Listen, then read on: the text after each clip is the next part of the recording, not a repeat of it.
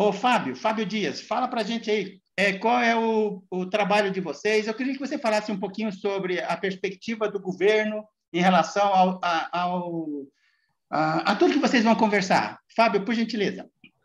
A gente vai falar um pouquinho sobre as PICs, são as práticas integrativas e complementares de saúde.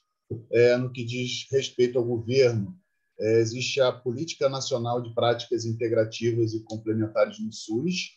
Essa política se deu a partir de junho de 2003.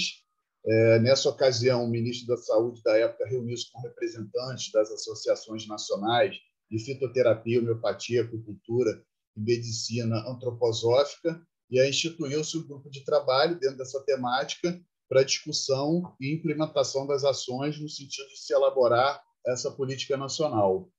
Então, a PNPIC, essa política nacional, objetivo o aumento da resolutividade dos serviços de saúde a partir da integração ao modelo convencional de cuidado, de racionalidade com diferentes perspectivas, o que traz a possibilidade de uma atuação mais ampliada, de forma integrada e ou complementar no diagnóstico, na avaliação, no cuidado em saúde.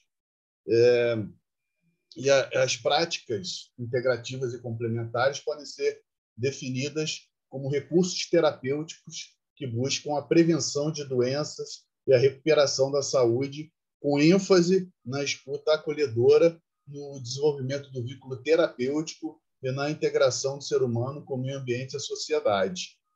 E essas PICs podem estar presentes em todos os pontos de, da rede de atenção à saúde, prioritariamente na atenção primária, e esse campo de diferentes racionalidades e saberes acampa uma visão ampliada do processo saúde e doença, e da promoção global do cuidado humano, com ênfase no autocuidado. O ser humano, então, ele é contemplado em suas várias dimensões, física, psíquica, emocional e social.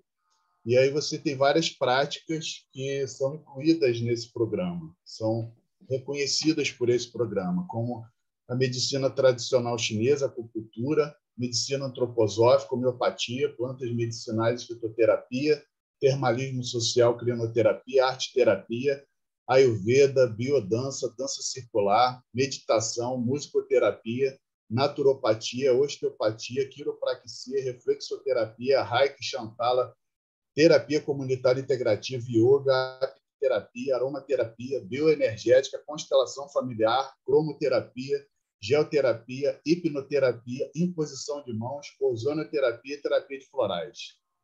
E, resumidamente, então, concluindo, as PICs trazem a possibilidade de integração e, co e complementaridade do tratamento, fomentando o autocuidado e ratificando o conceito amplo e holístico do ser humano e sua saúde nas dimensões biopsicossocial e espiritual.